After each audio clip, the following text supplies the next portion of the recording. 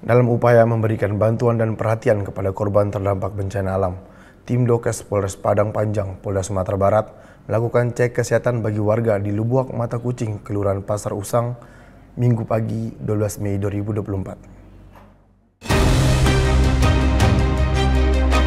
Tim dokter kesehatan Polres Padang Panjang yang dipimpin oleh Kabak Kren Polres Padang Panjang AKP Witri Zawati dan Kasidokes Bripka Atika Vidya Utami melakukan cek kesehatan warga yang terdampak bencana alam di Lubuk Mata Kucing, Kelurahan Pasar Usang, Minggu 12 Mei 2024.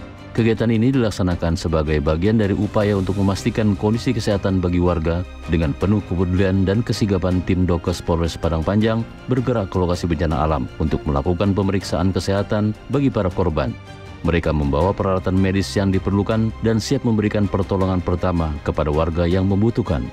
Selama proses pemeriksaan, tim Dokes tidak hanya memeriksa kondisi fisik warga, tetapi juga memberikan konsultasi dan saran mengenai perawatan yang harus dilakukan dari tim Humas Polres Padang Panjang Polda Sumatera Barat melaporkan untuk Polri TV. Sekian presisi update kali ini. Terima kasih atas perhatian Anda dan salam presisi.